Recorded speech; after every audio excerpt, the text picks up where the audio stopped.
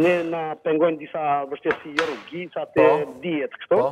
Edhe kemi marrë automjetin tjetër zjarrfikës që e kemi me shkallë me element, po. që është shkallë zjarrfikëse profesionale, uh -huh. me të cilët veprojnë deri në lartësinë 15 metra.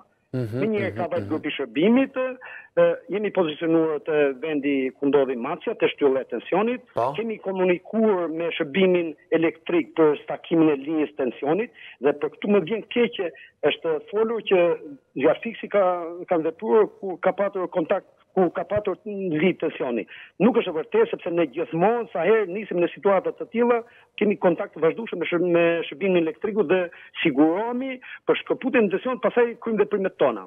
Qartë. Pra, ju kishit telefonuar që nuk ka elektricitet aty për të shkuar edhe për ta shpëtuar macen. Po, është detyra jonë që telefonojmë dhe jemi në kontakt të vazhdueshëm deri në përfundimin e veprimeve.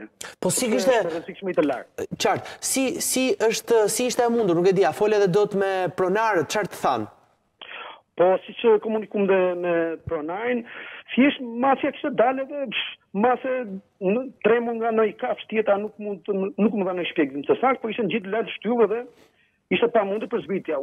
Sa orë kishte macja që qëndronte aty? Të thanë?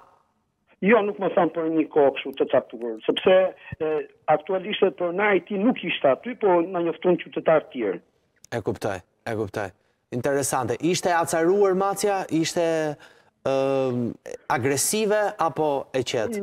Jo, ishte shumë e qetë, macja shtëpiake, Po themi shumë e mirë, në kuptimin e fjalës. Qartë. Zia, të falenderojmë shumë që ishe me ne në këtë lidhje edhe faleminderit në emër të pronarit të maces, po edhe të gjithë atyre të cilët janë kafshdashës.